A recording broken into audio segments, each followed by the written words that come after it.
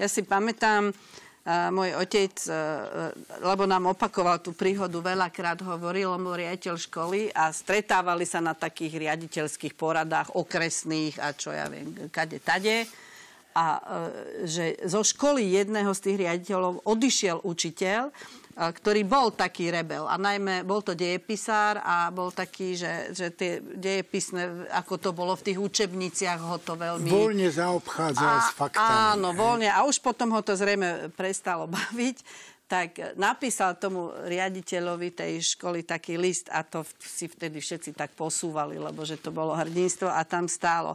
Vážený súdruh riaditeľ, ja už viac svojich žiakov nemám, čo múdre, naučiť iba samé klamstvá a hovadiny. Zriekam sa tejto možnosti vo váš prospech.